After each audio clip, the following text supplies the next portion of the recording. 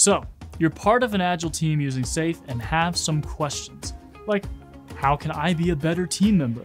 How can my team work with other teams to effectively deliver value?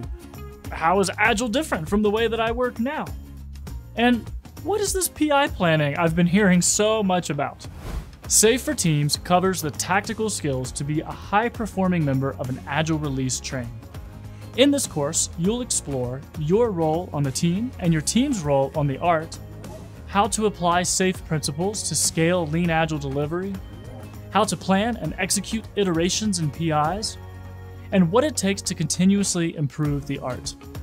Get the most out of this course by taking it in context with your team and other teams on your ART.